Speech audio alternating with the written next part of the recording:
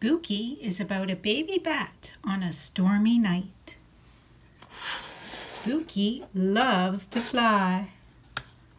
Kaboom! But not when it's wet and stormy. So Spookie goes to hide in a tree. But there's an owl already there. And Spookie scares the owl. The owl flies away. Wait, says Spookie, please don't go. Why not, says the owl. Because I'm scared, says Spookie.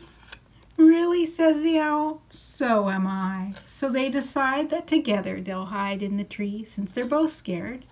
And when they're together, they're not as scared. And so they become friends forever after the storm passes. And that is spooky.